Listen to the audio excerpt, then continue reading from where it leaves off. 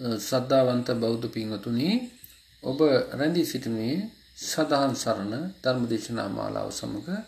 අද දින උදෑසන මාවසින් කරන ලද ධර්මදේශනාවන්ට ප්‍රතිචාර පිණිස කිහිප දෙනෙම දුරකථනයෙන් දැනුවත් කරා. තවත් මෙවැනිම රහසිගත ඉගැන්වීම් නිරවුල්ව ප්‍රකාශ කරන ලෙස ඒ වගේම එම ඉගැන්වීම් වලට බොහොම ලැදියාවක් ඔවුන් දක්වන බවත් මට ප්‍රකාශ කරා. එය මම කල්පනා කළා අද දින වජ්‍රසත්ත්ව මුනිවරයාගේ දේශනාවන් සම්බන්ධව වැදගත් කරුණු කිහිපයක් හඳුනා දෙන්න. වජ්‍රසත්ත්ව මුනිවරයා වාසය කරන්නේ පෘථිවියේ සිට තුන්වන මනුෂ්‍ය ලෝකේ. ඔහු වාසය කරන ලෝකයේ විමලා ලෝකය යනුවෙන් හැඳින්වෙනවා. එම ලෝකයේ විසෙන වජසත්ත මුනිවරයා බෞද්ධයන් අති විශාල ගණනකට නායකත්වය දෙමින් ඔවුන්ට භාවනා ප්‍රගුණ කිරීම තමයි ඔහුගේ කාර්යය වෙන්නේ විශේෂයෙන්ම ඔහු බෝධිසත්වවරයෙක් වශයෙන් තමයි හැඳින්වෙන්නේ.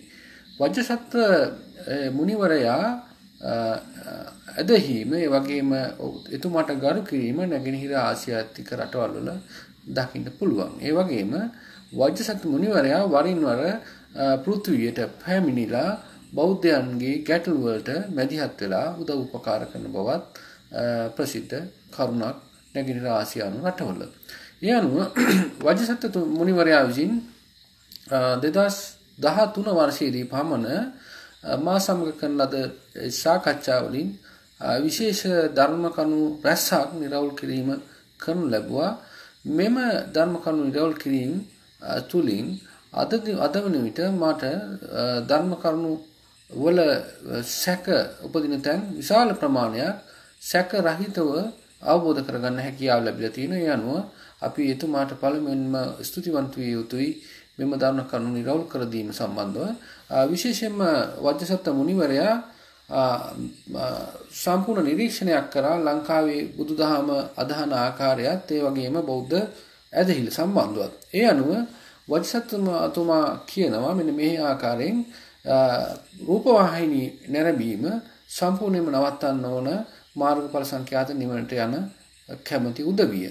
මේකට හේතුව වශයෙන් වජ්ජත් මුනිවරයා කියන්නේ රූපවාහනය නරඹලා මේවා තියෙන කතන්දර වෘතාන්තයන් බලන පුද්ගලයන් ඒ චරිතය තුළ ජීවත් වෙන්න උත්සාහ කරනවා. එයින් තව තවත් ඔවුන්ගේ කෙලෙස් වැඩි වෙලා සංසාරයට ඇදගෙන යනවා. එක හේතුවක්.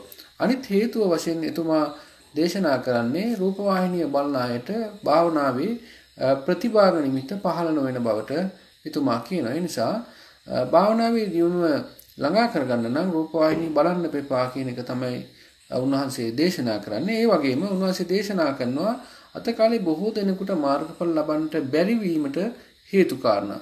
එතනදී එතුමා කියන දෙයක් තමයි අද කාලේ විසෙන බොහෝ දෙනෙක් පාරමිතා බලය සම්පූර්ණයි. නමුත් ඔවුන් විවිධ කාලවලදී ආර්යයන්ට අපවාද කරලා තියෙනවා. ආර්ය අපවාද, ආර්ය උපවාද පාප කර්මයට ලක් වෙලා තියෙනවා. අන්නේ හේතුව මත බොහෝ දෙනෙක් මාර්ගඵල ලබන්න උත්සාහ කළත් උන්ට මාර්ගඵල ලැබෙන්නේ නැති කතාවක් තමයි වජසත උතුමා කියන්නේ. ඒ වගේම වජසත උතුමා කියනවා මෙන්න මේ දේ යම්කිසි පුද්ගලයෙකු පෘථුවිය මත නොවසනම් භූමිය මත ඇති දේට ඇලුම් කළොත් විශේෂයෙන්ම බිමට ඇලුම් කළොත් ඒ පුද්ගලයා මරණින් මතු ඊටාම පහත් උත්පත්තියකට ලබනවා පෘථිවියෙන් ඉහළ තියෙන දිව්‍යමය තලයන්ට ඔවුන්ට යාමට හැකියාව නැහැ. ඒ නිසා ගෙවල් දොරවල් ඉඩකඩම් ගැන ආශාව තියෙන කිසිම කෙනෙක් මරණින් මතු දිව්‍ය භූමියට සැපත් නොවන බව වජසත උතුමා කියන්නේ.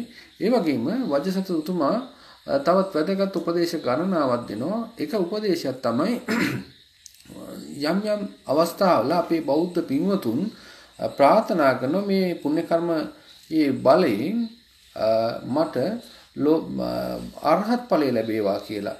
මෙතනදී රහතන් වහන්සේ කෙනෙක් වශයෙන් ඒ නිවන් සප ලැබීමට අන්නේ කරන ප්‍රාර්ථනාව සමහරලාදී වරදිනවා කියන වර්ධිසත් උතුමාණන් වහන්සේ. එතුමා කියන්නේ මේ කරන ලද කුසල කර්මයේ බලෙන් තුන්තරා බෝධින් එක්තරා තැනකට සැපත් වෙන්නට හේතු වාසනා වේවා කියන ප්‍රාර්ථනාව කරන්න කියලා. මොකද ඒ ප්‍රාර්ථනාව මුලකී ප්‍රාර්ථනාවට වඩා ඊටාම සවිමත් ඒ වගේම ඊටාම ලේසියෙන් පළ ගන්න ප්‍රාර්ථනාවක් වශයෙන් එතුමා දේශනා කරනවා.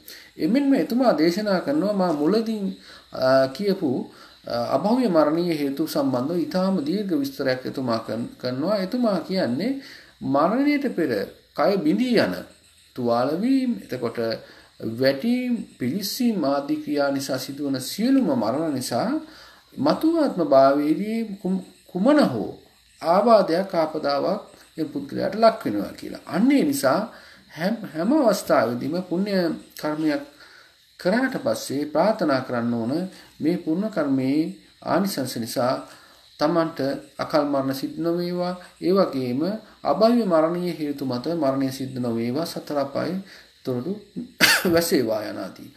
ඒ වගේම වජ්‍රසත උතුමන් වහන්සේ දේශනා කරනවා හැම කෙනෙකුටම මාර්ගඵල ලබන්න බෑ. නමුත් හැම කෙනෙකුටම පුළුවන් අසතර අපායේ දොරගුළු වහන්න. එතෙන්දී වචසත් උතුමන් වහන්සේ දේශනා කරනවා ක්‍රමෝපාය නමයක් තියෙනවා මාර්ගඵල නැති කයට උනත් අපායේ නොඉපිද සුගතිගාමී වෙන්න. විශේෂයෙන්ම උන්වහන්සේ දේශනා කරනවා විදර්ශනා භාවනා කිරීම. විදර්ශනා භාවනා කිරීමේදී අපාය දොරටු නිශ්චිතව වැහෙන බව කියනවා. ඒ වගේම පිටසක්වල මුනිවරයන්ගේ කරුණාවට ලක් වෙන බව කියනවා. ඒ වගේම සූත්‍ර සජ්ජායනය තුළින් හිත පිරිසුදු වෙන බව අජිසත් උතුමාණන් වහන්සේ කියනවා. ඒ හේතුවෙන් සුගතිගාමී වෙන්න අවස්ථාවක් ලැබෙනවා. ඒ වගේම මාතෘ ගර්භ ප්‍රවේශ ආවරණය නම් වූ ක්‍රියාවක් තියෙනවා. එතනදී තමන් මතු සුගතියේ ඉපදිලා ඕපපාතික උප්පත්ති ලබන්න ප්‍රාර්ථනා කරන්න ඕන පුණ්‍ය කර්ම කළා. අන්න ඒක ප්‍රාර්ථනාව කරන එකනත් ඕපපාතිකට උපතකට යොමීමේ ස්වභාවයක් තියෙන බව එතුමා කියනවා. මේ ආදී වශයෙන් ක්‍රම වේද නමයක් තියෙනවා සතර අපායේ දොරටු වහන්න වජසත උතුමාණන් වහන්සේ කියන ආකාරයට. ඒ වගේම වජසත උතුමාණන් වහන්සේ දේශනා කරනවා මෙන්න මේ දේ නිවන් මගට ඉන්න කට්ටිය නිවන් මගේ යන අය වෙනත් මාර්ගවලට හරවා යැවීම මහා බලගතු පාප කර්මයක් කියලා. ඒ නිසා යම් කිසි කෙනෙක් සමත විදර්ශනා භාවනා කරොත් ඒ පුද්ගලයා එයින් වළක්වන්න එපා. එයින්ම තමන්ට මාර්ගඵල සංඛ්‍යාත නිවනට යාම වැළැක්වෙනවා. ඒ කියන්නේ තමන් වැළැක්වුවොත් යම් කෙනෙකුගේ තමන්ගෙත් ඒ දේ වැළැක්වෙනවා. ඒ වගේම වජසත් උතුමාණන් වහන්සේ දේශනා කරනවා මෙන්න මේ දේ තමන් විශේෂයෙන්ම ගොඩක් අය හිතන් ඉන්නවා තමන් පින්කම් කරාන් පස්සේ මරණින් මතු සුගතිගාමී වෙනවා කියලා. වජසත් උතුමාණන් වහන්සේ කියනෝ නෑ. එහෙම වෙන්නේ නෑ. ඒකට බරපතල හේතුවක් තියෙනවා කියලා. ඒකට හේතුව වශයෙන් උන්වහන්සේ දේශනා කරන්නේ මේ කොච්චර පුණ්‍ය කර්ම කරත් අපි මරණ මොහොතේදී අපිට මරණීය වේදනාවේ සියලුම දේවල් ඉක්මවා දැනෙනවා. අන්නේ වේදනාව නිසා මොකද්ද සිද්ධ වෙන්නේ? ප්‍රධාන කොටම Tamanට බයක් ඒ වගේම ජීවිතය කෙරෙහි ආසාවක් මතුවෙනවා. Tamanට පුණ්‍ය කර්මයක් මතක් කරගන්න හැකියාව ගොඩක් දෙනෙකුට නොලැබෙන බව වචසතුමා කියන්නේ. ඒ නිසාවෙන් වචසතුමා අපට දේශනා කරන්නේ හැකිතා උත්සාහ කළ එක්ක මාර්ගඵලයක් ලබා ගන්න. එහෙම නැත්නම් අර මා මුලින් කිව්වා වගේ සුගතිගාමී වෙන විශේෂ ප්‍රතිපදාවට යොමු වෙන්නේ කියලා. විශේෂයෙන්ම බජත සතතුමා දේශනා කරනවා බෞද්ධයන් විසින් බෞද්ධයන්ගේ පරම යුතුයකම වන නිර්වාණ සැපතට යොමු වීම අත්‍යවශ්‍ය බව.